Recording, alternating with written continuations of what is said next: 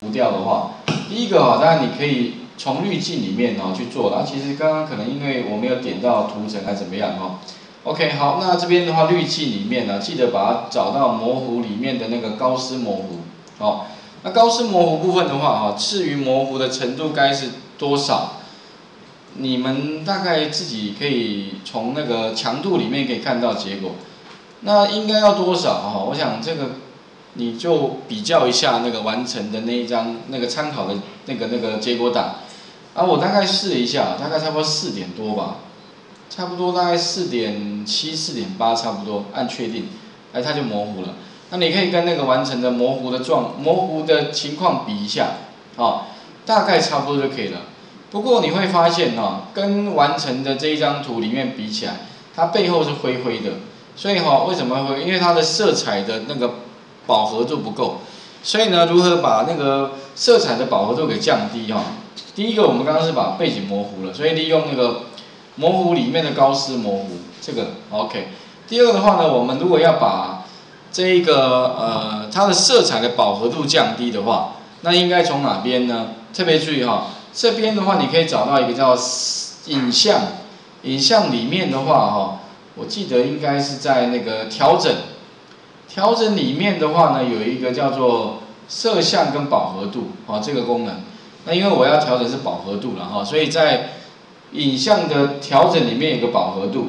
那其实基本上哈，主要是调整哪一个呢？调整色彩的饱和度。所以呢，我把这个色彩的饱和度哈，把它降低。那降低的方式哈，不外乎就是调整这一个啦。哦，要调整多少？你可以大概预览一下。我记得差不多，大概。呃，负百分之六十左右差不多吧，哦，那你可以再跟那个完成的这一张图比较一下，好，两个，反正这两个有很多的那个，呃，就是说有一些细节了，当然你要做到百分之一百哦，恐怕要花很多时间，那尽量就是，另外将来如果说你要做出什么效果了，自己可能要多去了解，除了饱和度之外，还有另外还有色相，还有那个明亮度，这些都可以调整。那以这一题来看的话，主要是饱和度，所以两个动作，一个是模糊的高斯模糊，大概是负大概四点七左右吧，哈，要不跟这样是四点七哈，啊这个地方饱和度是负六十，按确定就可以了。这样的话呢，我们的背景就做出类似的，啊至于细节哈，恐怕接近就可以了。那至于就是说有一些细节，假如说你找找看吧，看有没有什么其他，如果题目里面没提到，你就不用去做了哈。那 OK 之后的话呢，把这个图再把它把那个 water 跟图层再加进来，好，那这样的话呢，就完成我们的背景部分了。那背景完了之后的话哈，再来就是什么？这个 water，那这边叫 water 的图层哦，它原来在后面会看不到，所以记得呢把它往上移动。另外呢，把这个眼睛哈，本来眼睛是闭起来的，把眼睛打开。好，那可是我要怎么样可以做出什么样的效果呢？有点流水的效果，哎，流水的效果如何做出来的呢？基本上它已经给我们这一个哈，呃，有点像水滴，一个很大一个水滴，这个水滴呢，怎么样让它流下来？所以哈，我需要一些功能啊。那当然最简单的功能，题目里面有提示，就是说，请各位找到建成工具下面这边有一个叫指尖工具。那指尖工具哈，其实你这样拉了，有没有发现？它就会掉出来了，但是特别注意，你如果这样慢慢慢慢弄哈，恐怕弄很久还做不到什么刚刚这样的效果，有没有？这样子感觉好像水流的太慢了，所以如果你今天希望怎么样让那个水流加快，很简单，第一个先找到这个指尖工具，第二个的话呢，请各位找到什么？上方会有一个工具列，就是这个工具列。它里面有这么多功能呢，哦，那其实你最主最重要就是这个十三，那十三就比较小，所以怎么办呢？请各位把这个什么，这个叫做尺寸有没有？还有强度等等的，自己再调，主要是尺寸，把这个尺寸哈稍微拉大一点点，先用五十好了，五十我记得好像会比较快，五十就这么大一个圈圈，那如果说你要往下这样拉的话啊。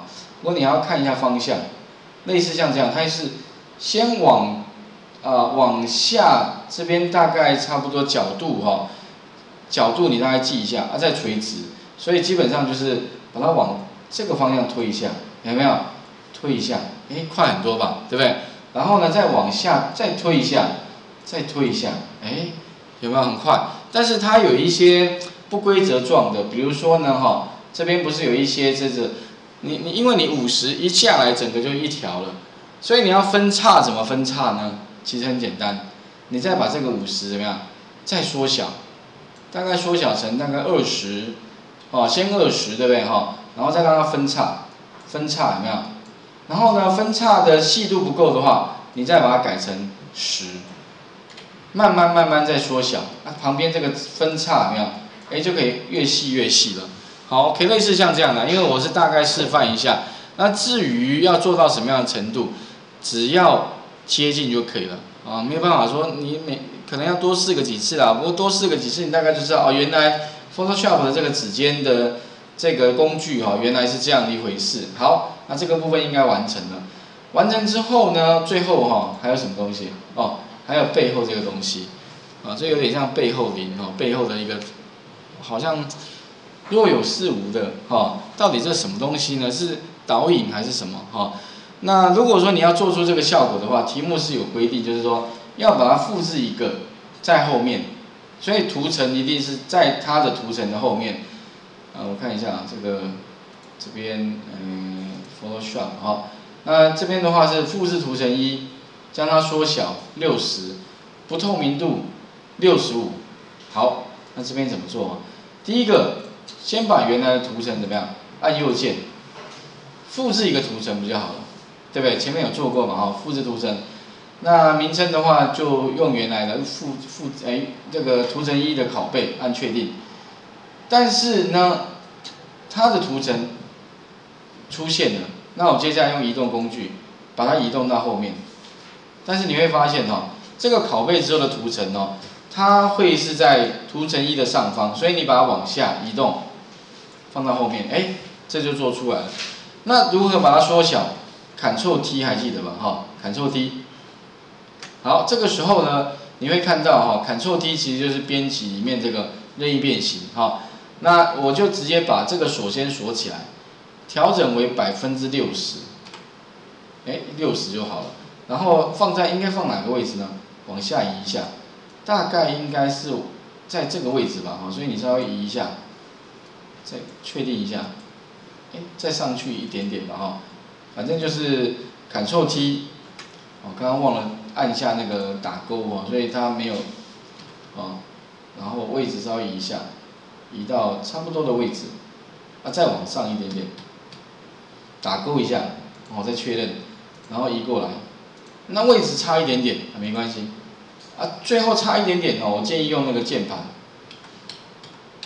键盘哈会比较近，比较接近，还可以再过来，哦，上下一下，有没有？再过来一点，哦，调整到几乎一模一样，这样反正越接近越好了啊，因为要花很多时间，我就大概 demo 到这里哈，所以你用。移动工具先移动一个大概位置，然后呢，再呃怎么样呢？再用键盘上下左右移动一下。那最后呢，不透明度哦，把它改为六十五。如何把这个不透明度改为六十五？注意一下这边有个不透明度，有没有？预设是百分之一百。那百分之一百是完全看到。如果你把它调整百分之多少零的话，是完全看不到。那它要我们调整到百分之六十五，所以这个地方的话。把这个数字哈调整在百分之六十五，这样就会有一个半透明的状态。但是如果说你今天希望怎么样，再更小一些些，那你就是再把它再透明一些些啦。所以这个地方的话，可以透过什么不透明度啊去做一个调整啊，移动之后再去做那个不透明度调整。那最后呢，再跟啊完成的档案呢稍微比对一下，如果越接近当然越好。这个好像位置还还是可以再再调整一下啊，最后另存新档哦，存成一零六，那这一题就完成了，OK，来把画面呢还给各位一下哈。